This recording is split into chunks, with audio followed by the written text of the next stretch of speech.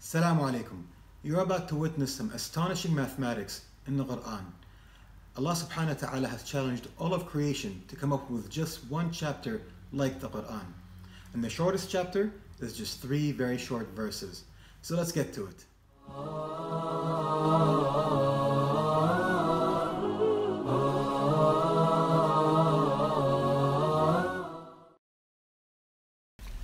The shortest chapter in the Quran is chapter 108, titled Al Kawthar, which means great goodness and is also the name of a river in paradise that has been given to the Prophet Muhammad. When the pagans of Mecca saw that the Prophet's male children have died, they used that to attack him and call him an Ebtar, which in this context in Arabic means someone whose lineage is cut off, because the word means that which is fruitless and cannot multiply and reproduce, and also those actions that are impotent and thus will lead to nothing.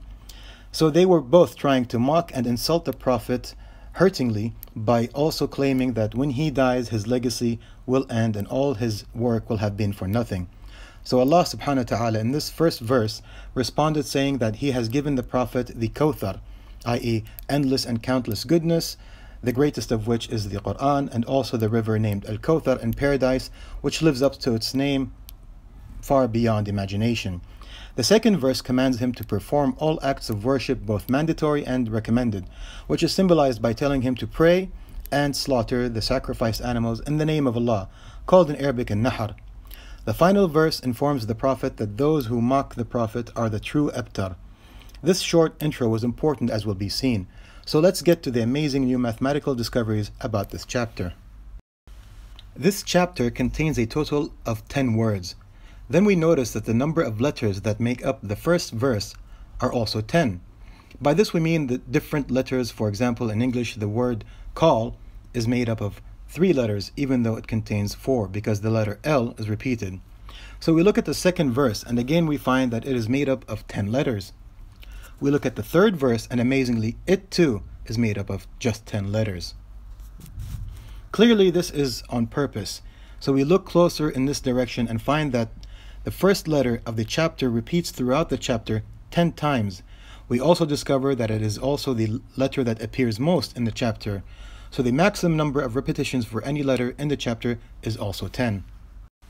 Then scholars notice that miraculously, out of the entire alphabet, the number of letters that only appear once in this chapter is also 10. In the Quran, there are 14 letters called the Quran separated letters, in Arabic, al-huruf al-muqatta'a, and they are the letters that appear at the start of some chapters as verse number 1. For example, the letter N, Noon in Arabic, appears at the start of chapter 68, chapter The Pen. For now, just remember that these letters have a special linguistic role, and many scholars are still learning new revelations about them. These unique letters are Alif, Ha, Ra, Sin, Sad, Ta, Ain, Qaf, Kaf, Lam, Mim, Nun, Ha, Ya. Then we notice that when we exclude these letters out of the alphabet, what remains of letters within the alphabet appears within this chapter 10 times. Digging deeper, we realize that we have looked at the first letter of the chapter. So what about the last letter?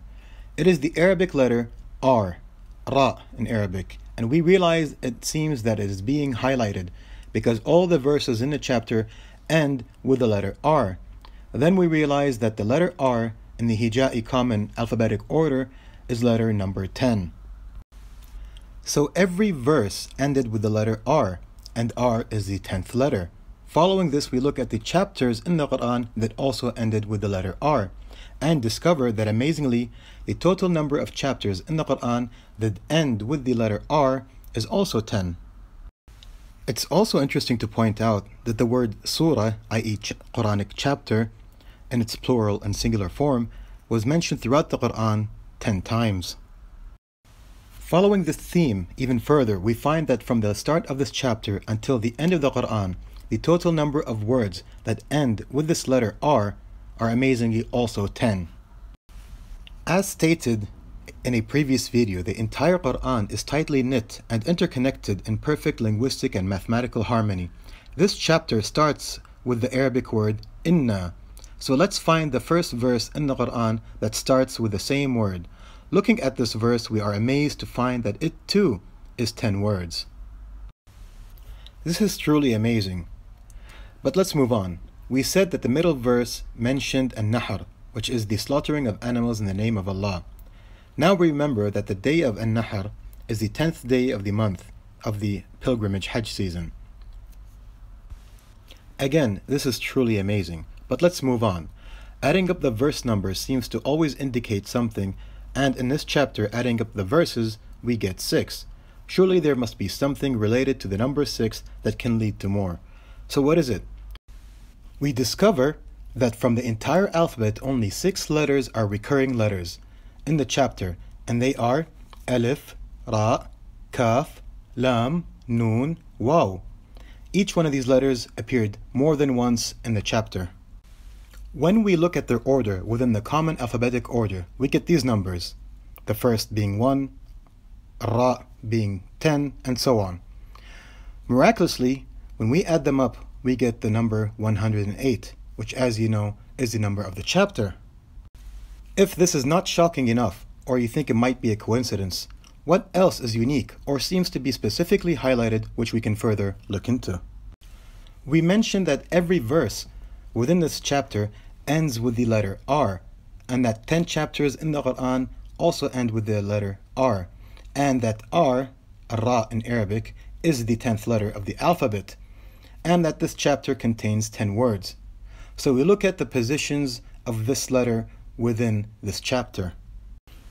The first R is letter 16 in the chapter, the second is 21, the third is 28, and the last one is the 43rd letter.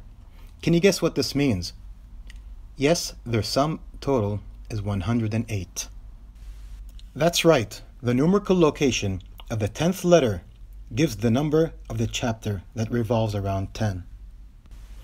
Okay, we are almost done in this video, but we will never be done with just one chapter in the Quran. Let's dig deeper and in my previous videos I noted that it is never just about the correlation inside the Quran. It's like a genetic code connected to everything in creation. We look at the words of the first verse and they are three. The letters of the first word repeat 15 times within a chapter. The letters of the second word repeat 22 times within a chapter and the letters of the last word repeat 26 times.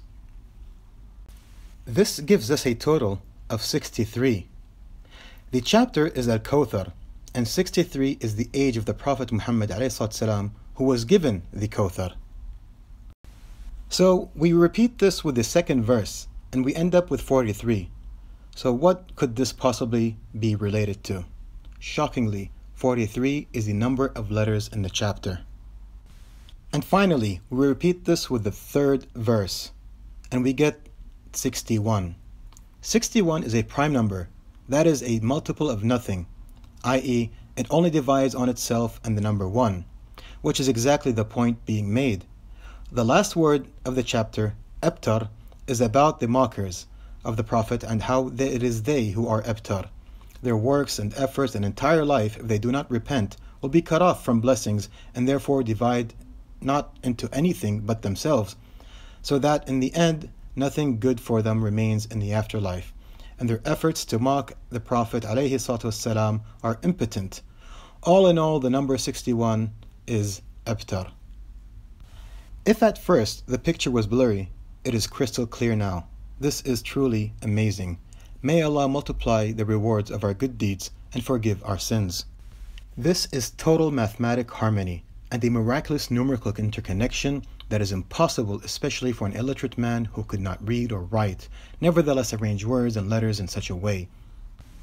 The Quran, as a linguistic miracle, has challenged the world for 14 centuries, and now, in this age of computers, we discover this mathematical code of which all of what we've mentioned is just the beginning.